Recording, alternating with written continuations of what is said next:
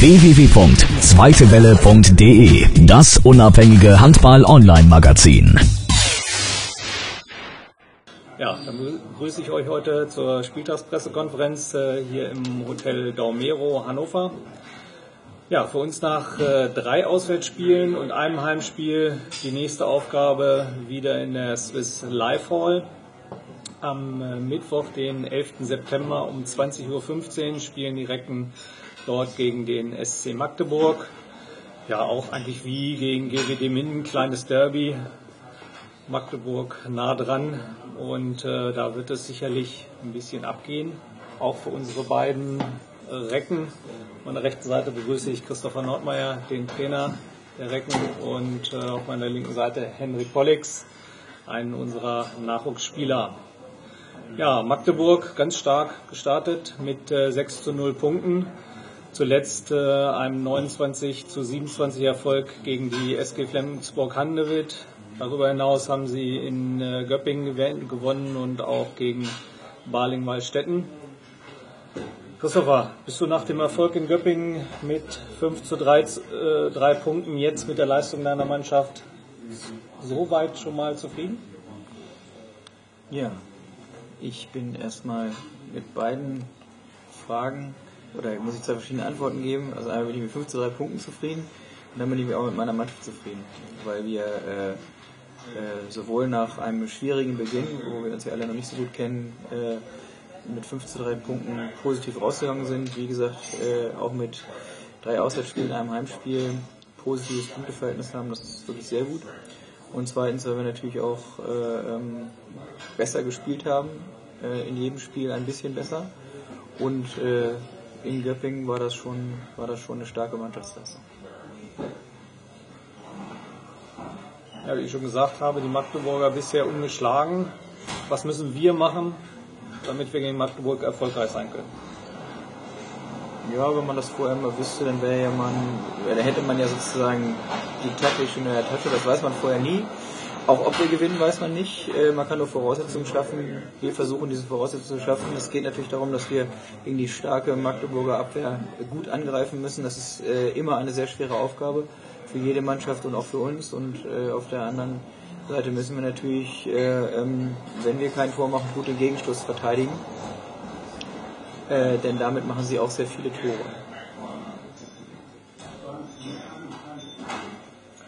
Tamasch hat wieder gespielt gegen äh, äh, Göppingen, in Göppingen. Äh, relativ äh, überraschend. Man wusste nicht so ganz genau, äh, wird er fit oder wird er nicht fit. Äh, ist er auch für den SCM bereit und dabei? Und wie kam es dazu? Ja, Tamasch äh, ist wieder fit. Er hat äh, grünes Licht von der medizinischen Abteilung bekommen, beziehungsweise wir haben äh, täglich äh, darum gekämpft, dass er wieder fit wird zum Spiel in Göppingen. Wir haben aber nicht gewusst, ob wir das Risiko eingehen können, weil die Rekonvaleszenzzeit für die Verletzung eigentlich sechs Wochen äh, dauert. Aber wir haben uns dann gemeinsam entschieden, das zu riskieren, das zu wagen. Und ich denke, nicht nur der Erfolg, sondern auch die Tatsache, dass es damals gut und schmerzfrei spielen konnte, äh, gibt dieser Maßnahme recht. Wir sind sehr froh, ihn wieder bei uns zu haben und er freut sich unheimlich wieder mit der Mannschaft dabei zu sein. Ja, wie, wie, beurteilst du die Leistungsstärke der Magdeburger jetzt auch gerade nach den 6-0 Punkten, beziehungsweise wo siehst du die Stärken? Ja, ich glaube, die äh, Magdeburger hatten ja nur vielleicht ein, ein etwas schwächeres Jahr. Im letzten Jahr haben sich dann gut verstärkt mit äh, zwei neuen Mittelleuten, Michael Haas und Marco Belsack. Dazu kommt eben, dass sie äh, sowieso schon eine, eine sehr gute äh, äh, Mannschaft hatten, können jetzt praktisch zwei äh, komplette Mannschaften äh, spielen lassen, dadurch, dass sie den äh, Oneto noch verpflichtet haben. Das heißt, sie sind wirklich auf jeder Position doppelt besetzt und das zeichnet diese Mannschaft aus. Sie brauchen also nicht immer alle spielen und haben große Stärken in allen Mannschaftsteilen. Äh, ja, insbesondere Knea und Rojewski spielen gerade eine hervorragende äh, äh, naja, Saison, bisherige Saison und äh, das wird nicht einfach werden, äh, die in den Griff zu bekommen. Aber das muss unser Ziel sein. Wir haben in der Vorbereitung zweimal gegen die Mannschaft gespielt, das heißt, wir wissen, was auf uns zukommt und äh, andersrum ist es bei Magdeburg genauso. Ich freue mich auf ein spannendes Spiel. Ja, kommen wir zu Hendrik Pollex. Hendrik, äh, spielst im Augenblick, beziehungsweise trainierst natürlich bei der ersten mit, äh, spielst teilweise auch, bist teilweise dabei, äh, spielst aber auch in der zweiten mit. Wie war es jetzt äh, am Wochenende? Bist du von äh, Göppingen gleich nach Berlin gereist oder erst nach Hause? Wie war das? Ähm, ja, also ich hab, bin nach dem Spiel direkt aus Göppingen losgefahren mit dem Auto. Bin noch, habe noch einen Umweg über nach Hause genommen, bin also nicht direkt gleich nach Berlin gefahren. Bin mir am nächsten Tag erst um 16.15 Uhr da gespielt, deswegen bin ich dann mit der Mannschaft, also mit der zweiten Mannschaft mit dem Bus nach Berlin am nächsten Tag gefahren in zwei Teams zu spielen, ist aber eine ziemlich äh, hohe Belastung, auch wenn man jetzt äh, die Touren dazu noch sieht, äh, äh nach Göppingen, von Göppingen zurück nach Berlin. Äh, ist das eine harte Belastung für dich? Beziehungsweise allgemein auch für die Nachwuchsspieler? Ja, das ist äh, schon eine starke Belastung, auch gerade wie du gesagt hast, durch die Fahrten. Jetzt am Wochenende war es natürlich eine besonders starke Belastung durch die zwei Auswärtsspiele und zwei Auswär weiten Auswärtsfahrten. Das kommt natürlich nicht so häufig vor, aber auch ähm, die doppelten Trainingseinheiten, das ist schon eine sehr hohe Belastung und äh, trotzdem versucht man natürlich in beiden Mannschaften Vollgas zu geben. Äh, das ist natürlich dadurch nicht so einfach, weil es so eine hohe Belastung ist, aber äh, das klappt schon für uns junge Spieler ganz gut, würde ich sagen. Und die Trainer versuchen das auch so zu steuern, dass das äh, für uns äh, bestmöglich ist hat man in Berlin ja dann auch gesehen. Ihr habt zwar leider verloren, aber deine Leistung äh, wurde zumindest in der Presse gut bescheinigt und hast acht Goals gemacht. Richtig? Ja, acht Stück. Ja, wie siehst du die Magdeburger? Wo siehst du da die Stärken? Äh, ja, wie Chris das schon äh, gesagt hat, sie haben zwei komplette Mannschaften, die sie auch bieten können, haben zwei äh, starke Mittelmänner, die gut für ihre halben, ihre, ihre halben gut einsetzen, äh, sie gut in gute Wurfchancen bringen und dann natürlich äh, auf den beiden Rückraumpositionen, äh, Rückraum links und Rückraum rechts, äh, jeweils zwei immer, die gut werfen können, äh, gut Tore schmeißen können. Deswegen müssen wir sehr kompakt verteidigen, glaube ich. Das wird nicht einfach gegen die und auf Außen haben sie natürlich auch zwei oder vier äh, sehr starke Spieler. Deswegen wird äh, ein schweres Spiel am Mittwoch.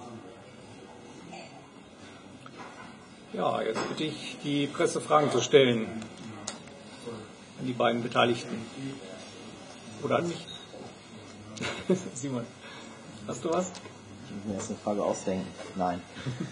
ähm, noch auf, um auf Tamasch zurückzukommen, lässt es sich vereinfacht so darstellen. Da ist jetzt ein weiterer Rückraumspieler, besonders Entlastung für Jan Fiete Buschmann, dass äh, alle anderen Mannschaftsteile oder anderen Spieler oder die ganze Mannschaft davon auch profitiert, weil einfach äh, eine größere Entlastung da ist, größere Kreativität, automatisch geht alles ein bisschen leichter und die Mannschaft wird besser. Es hat verschiedene Vorteile, dass Tamas wieder dabei ist. Erstmal ist er als Persönlichkeit sehr wichtig, weil er äh, äh eine sehr gute äh, Spielauffassung hat und äh, ist praktisch auch, obwohl er so lange weg war, äh, er überhaupt keine Probleme hatte, sich in das Spiel zu integrieren. Es war so, als wäre er gar nicht weg gewesen. Äh, dann lässt es mir die Möglichkeit auch wieder blockweise zu spielen. Das heißt, ich kann im Grunde unser Spiel so steuern, wie ich das im letzten Jahr auch aus unserer Sicht erfolgreich äh, machen konnte, weil ich jetzt die Möglichkeiten habe, das gleichwertig zu tun. Und drittens ist es natürlich einfach so, dass die Belastung der einzelnen Spieler geringer wird, weil wir eben äh, jetzt die Möglichkeit haben, unabhängig von Positionen und wir müssen nicht Spieler auf mehreren Positionen spielen lassen, ähm, das ist schon ein Riesenvorteil. Also unsere Stärke liegt in der Ausgeglichenheit und äh, Tamas Stärke liegt einfach daran, dass er äh, oder äh, liegt einfach darin, dass er alles das darstellt, äh, was vielleicht auch in den letzten Spielen noch gefehlt hat, um jetzt auch unsere Neuzugänge äh, ähm, besser einzuspielen weil natürlich die vier Tore, die er auch im letzten Spiel macht, einfach total wichtig sind. Andererseits hat man natürlich auch gesehen, dass ihm noch nicht alles gelingt und äh, äh, deshalb äh, müssen wir ihm auch die Pausen geben und genau deshalb ist es auch richtig, dass wir auf der Position trotzdem jetzt nicht anfangen, Tamasch viel mehr spielen zu lassen, als gut für ihn ist. Und äh, ja, ich, ich freue mich äh, äh, unheimlich, dass er wieder dabei ist. Und er sich auch, wie man im letzten Spiel gesehen hat, ist er also heiß und äh, äh ist, als wenn er 24 oder 19 wäre, auch mit 34 noch. Wie lange hat er genau gespielt? Wie viele Minuten weiß das aus dem Kopf? Ja, er wird schon so ungefähr äh, 30 bis 35 Minuten gespielt haben.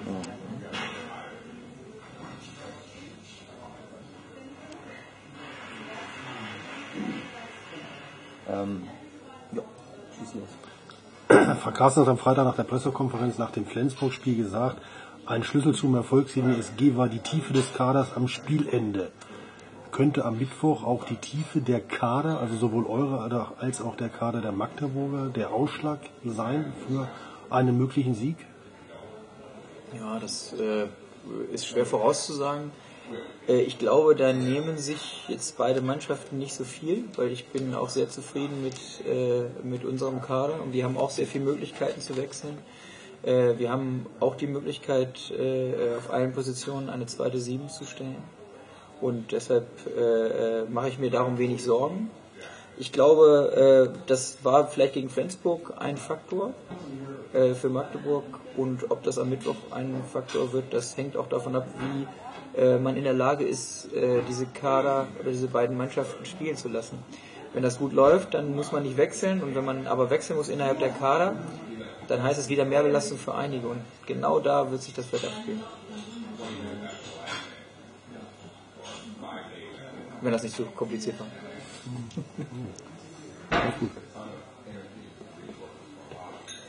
Weitere Fragen?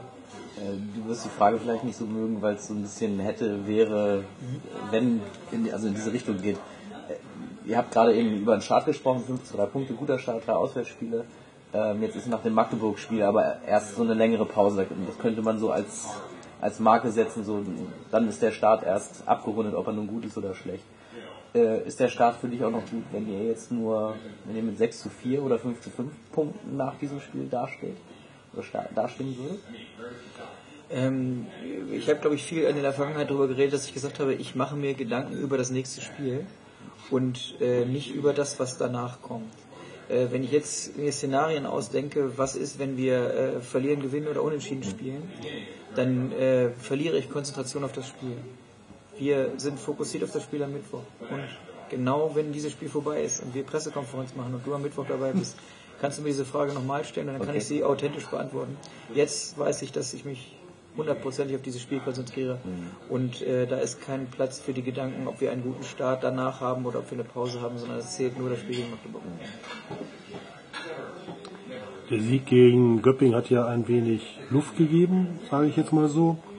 Äh, Ist es jetzt ein Zeitpunkt, um die Magdeburger taktisch zu überraschen? Ja, da müsste ich dich vielleicht nochmal fragen, was du da für Ideen hast. Ich glaube, es wird natürlich sehr schwer, die, die Magdeburger taktisch zu überraschen, weil, ähm, weil äh, beide Mannschaften sich sehr gut kennen, wir als Trainer uns auch kennen. Äh, aber natürlich äh, gibt es immer die Möglichkeiten. Die Frage ist natürlich, das ist immer die Frage, ist man, ist man in seinem System so stark, dass man sagt, ich, ich, äh, äh, ich bleibe bei meinem System und die anderen müssen sich auf mich einstellen oder äh, muss ich was verändern. Ich weiß, Jogi Löw ist mal auf die Nase gefallen mit der Taktik, er muss was verändern. Andererseits äh, ist es auch immer gut, mal einen neuen Reiz zu setzen. Äh, ich lasse das mal offen, aber äh, Überraschung ist immer gut, weil Überraschung Stress erzeugt und Stress ist für keinen Spieler gut. Aber vielleicht überraschen sie auch die Magdeburger. Wer weiß.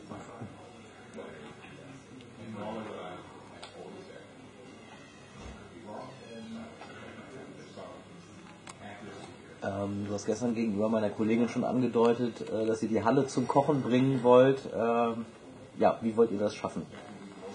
Ja, ich meine, das ist natürlich äh, äh, gegen Magdeburg ein, ein, ein, ein Duell, äh, das eben da brennt die Luft, das ist schon vorher klar. Wir sind äh, top motiviert, die Magdeburger werden top motiviert sein. Es hat in den letzten Jahren immer ganz unterschiedliche Spiele gegeben, aber äh, die waren in den meisten Fällen äh, sehr, sehr spannend und sehr, sehr emotional geführt und so wird das auch am Mittwoch sein. Und äh, wir wollen natürlich unseren ersten Heimsieg landen, darum geht's, um nichts anderes. Und äh, ja, das Spiel gegen äh, in Göppingen hat uns natürlich Auftrieb gegeben, weil wir natürlich sonst immer erklären müssen, warum wir noch nicht so weit sind. Und da hat man gesehen, wie weit wir schon sind. Wir wollen da in dieser Richtung äh, das nächste Stück Entwicklung machen, indem wir auch gegen so einen starken Gegner wie, wie, wie Magdeburg äh, bestehen können. Und das wird sich am Mittwoch zeigen. Aber ich weiß, dass ich über Motivation mit meinen Spielern nicht reden muss.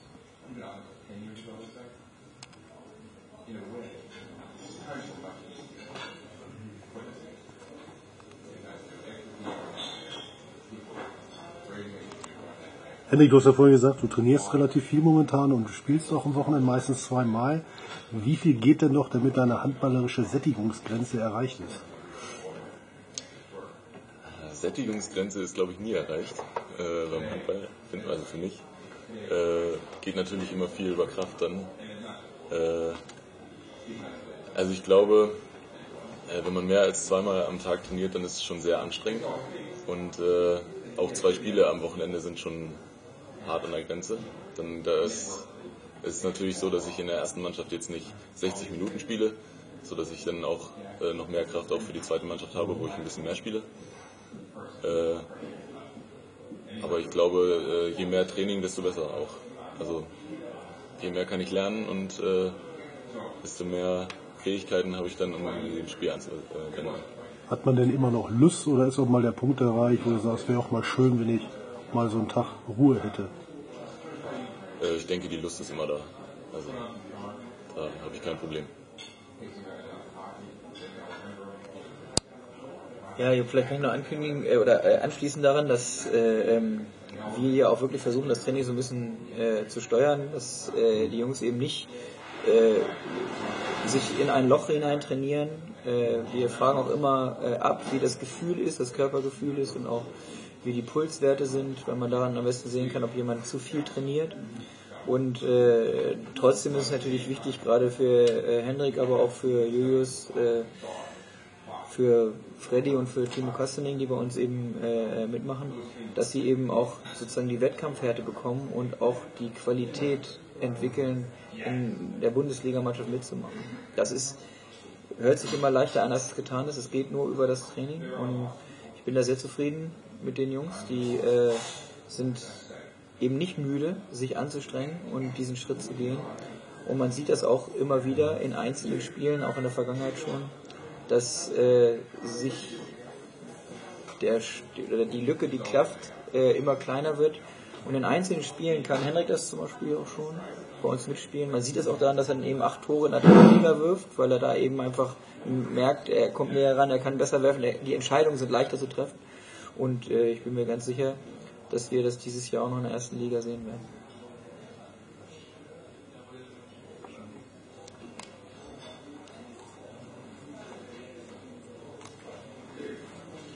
Ja, sonst weitere Fragen von euch.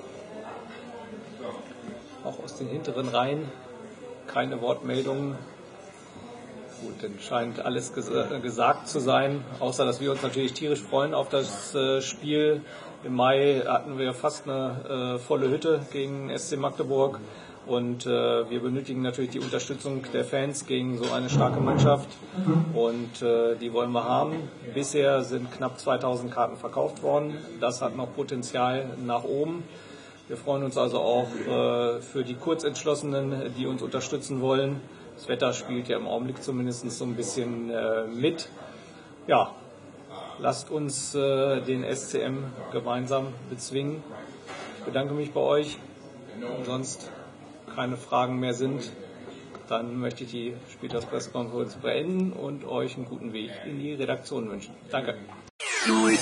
www.zweitewelle.de Das unabhängige Handball-Online-Magazin.